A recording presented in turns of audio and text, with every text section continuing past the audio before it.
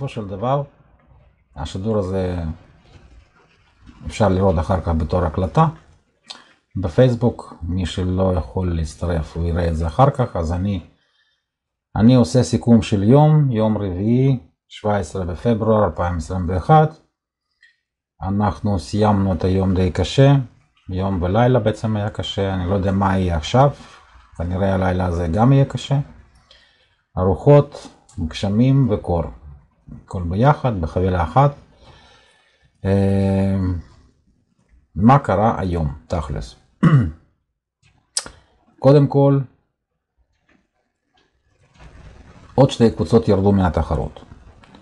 קבוצה אחת, לצערי, ירדה באמצע הלילה, מסיבות, בעצם כל, כל, ה, כל הסיבות הן סיבות טוב, כאילו, זה לא משהו שסתם אנשים החליטו לקום וללכת. לכל אחד היה משהו משלו, כמו שהיה אתמול עם אנדרי, שהתחילו לבעיות עם השיניים, עם כאבי שיניים נוראים. אז היום גם, היו מקרים שלמישהו היה צריך מהר לנסוע הביתה כי מישהו חלה, ואם זה מדובר על הקבוצה שהיא זוג, ואחד עוזב, אז שני, זהו, יורד מתחרות, הוא לא יכול להמשיך. בקיצור, שלוש קבוצות סך הכל ירדו עד היום, זה קבוצה של ברקודה טים, קבוצה של AVR קארפ וג'פטו טים, זה שלוש קבוצות שירדו לצערי. חוץ מזה דברים מצחיקים כמו מכוניות שנתקעו בבוץ, מכוניות של השופטים, מכוניות של המשתתפים והצלה בתור של הטנדר שיש לחבר'ה עובדים בחוף, הצילו אותם.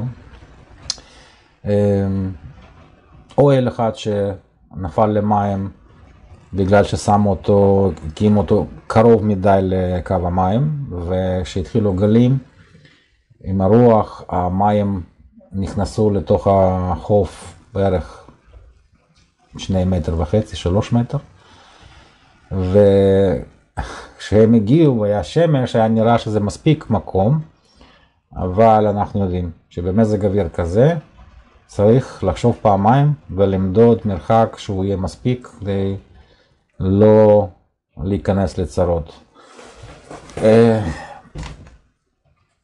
לאיזושהי קבוצה ראיתי נשבר הגזיבו, לא נורא, זה קורה כל שנה, זה בכנרת זה ממש בקלות, לא רק בחורף. חוץ מזה הכל בסדר, כולם שורדים, כן, רטובים, קפואים, אבל ממשיכים לדוג, ממשיכים לעבוד. לא משנה באיזה תנאים, יש בעיה בשמירת הדגים במים, בגלל הגלים שזורקים את העסקים עם הדגים חזרה לחוף. ואנשים מאוד יצירתיים, אני יכול להגיד, המציאו כל מיני שיטות, כי תחשבו, אוקיי, יש שלוש, שלושה צוותים של השופטים, כן? אבל יש קהילה רשמית פעמיים ביום, יש בבוקר, יש בערב. באמצע, מה שנקרא לפי יכולת. ואי אפשר ששופט כל עשר דקות או כל עשרים דקות ייסע לחצי שעה לכיוון של איזשהו חוף אחד בשביל לשקול דג אחד. זה מוגזם. כי בעצם אחד מהדברים שצריך לדעת ספורטאי זה איך לשמור את הדגים במים. גם בתנאים הקשים. אז כמו שאמרתי, יש אנשים מאוד יצירתיים, המציאו שיטות משלהם, לרומנים למשל חפרו אגם ליד האוהל שלהם, שמו שם ניילון, מילאו אותו במים, ממש אגם, ושם הם מחזיקים את הדגים עד שהם באים השופטים. עוד קבוצות לקחו את הפחי זבל הענקים והכניסו לשם איזשהו שק אשפה כזה ענק, גם מילאו במים, וקרפיונים שם מרגישים טוב מאוד. אז אפשר למצוא פתרון. אני לא מדבר על הפתרונות האחרים שידועים כבר מזמן איך לעשות את זה, אבל אני לא אספר. לגבי התוצאות, התוצאות פשוט מדהימות. אפשר להגיד יום רביעי ואנחנו היום עברנו את הטון, שבעצם אנחנו עכשיו בטון 100 ו... 36 קילו, ואפשר להגיד אה, שאפשר כבר להירגע. התחרות הייתה מוצלחת, גם אם אנחנו נעצור אותה היום או מחר, זה כבר מוצלח בכל מקרה, שבעצם אין קבוצות עם האפס, כולם, כל הקבוצות הם דגים, אה, וגם כמויות לא, לא רעות ממש.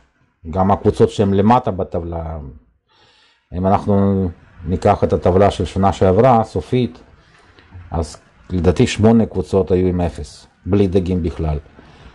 והניצחונות היו ממש אה, עם כמויות מצחיקות של הדגים. זה כמו שהיה לנו פעם תחרות, שהדגים תפסו שלוש קבוצות. ומקום השלישי זה היה דג אחד של קילו וחצי. היה ממש מצחיק, אבל זה קורה. השנה הכל בסדר, הסתדרנו, הכל עם הדגים, כולם הם דגים, גם אלה שבוכים שהם בתחתית הטבלה, אבל עדיין, גם הם בסדר, אחת התוצאות. אה, דג הכי גדול הוא מאתמול אה, אצל קבוצת קרפרו, רומנים, 10 קילו 320 גרם, אני מאוד מקווה שמישהו יכול לשבור את זה מחר, יש עוד זמן מחר ועד יום שישי ב-11 בבוקר. אה, כי דווקא די הרבה דגים גדולים תפסו היום אה, 8 קילו, 8,450, 8,200, 7 קילו, 6 קילו, בקיצור, די הרבה גדולים, גדולים מ-5 קילו, אז יש סיכוי שמישהו יתפוס קרפיון שהוא יותר כבד מ-10 קילו. אה, מה עוד היה מעניין היום? חוץ מהקור וגשם ודגים ששקלנו בלי סוף, לא היה משהו יותר מדי מעניין. אפילו שופטים, מה שהם עשו, ליד המחנה השופטים הקימו נקודת אה, שקילה, מה שנקרא, וקבוצות אה, שקרובות יחסית למחנה השופטים, הם פשוט הביאו את הדגים לשקילה ב... אה, מה שנקרא באמבטיה, כן? במתקן לשמירת הדגים. וגם אפשרות רק למי שקרוב כמובן, כי ללכת עם הדג הרבה אה, לא כיף.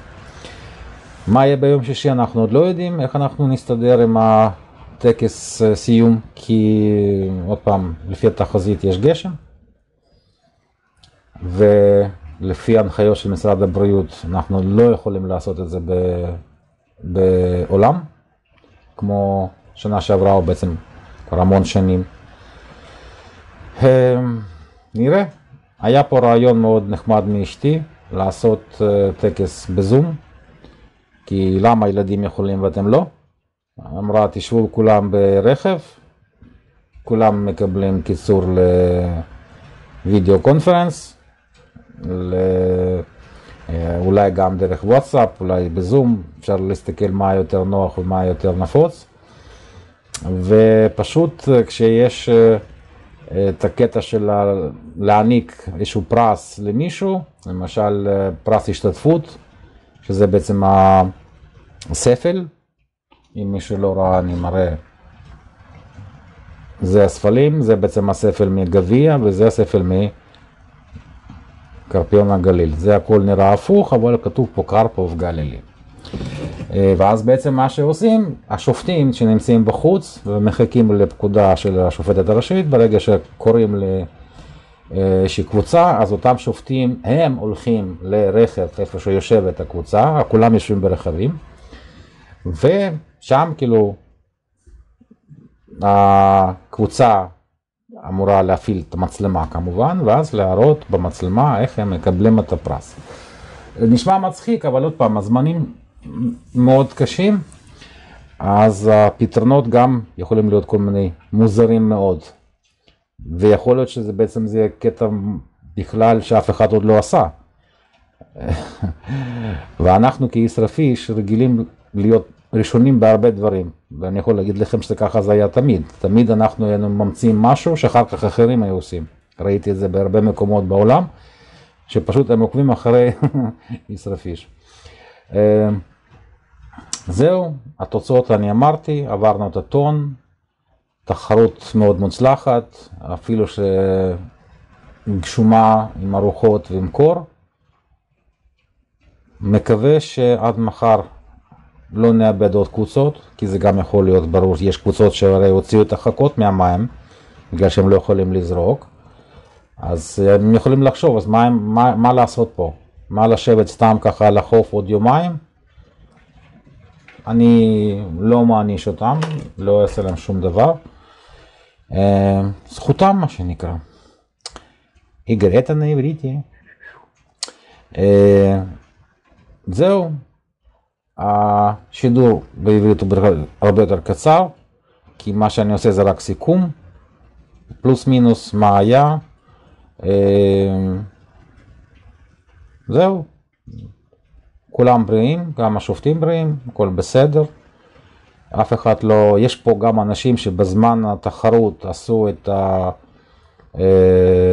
החיסון אה, השני או חיסון הראשון של קורונה. וגם השופט שלנו עשה חיסון שני, היה לו קצת חום, אבל שני כדורים ובעצם זה עבר, הכל בסדר. יש עוד כמה קבוצות שיש שם אנשים שעברו את זה גם, הכל בסדר, הכל יסתדר. אמ, זהו, מה יהיה מחר? יכול שכרגיל, כמו שאני עושה תמיד, אני אעשה את השידור בעברית בשעה עשר וחצי, זה פלוס מינוס עשר וחצי, כי לפעמים זה מתעכב. אה, יכול שבמשך היום אני אנסה לעשות את זה. נראה מה יהיה עם הזמן הפנוי, כי אנחנו מחר אמורים להתחיל לקפל את הציוד שאנחנו לא צריכים. יש הרבה ציוד לשופטים, שתכלס הוא כבר אין לו צורך, וצריכים איכשהו להעביר את הציוד ל... בניין איפה שאני יושב, זה בעצם יהיה בינתיים המחסן, כי לא נוכל לקחת את זה בסוף התחרות, אין לנו מקום. אה, אין, אין לנו רכב גדול מספיק שיכול לקחת את זה, מי שהביא את זה זה קוסטין מקבוצת אה, קרסיקי, יש לו רכב גדול, אבל אה, הוא לקח עכשיו, יש לו שם המון ציוד של החברים.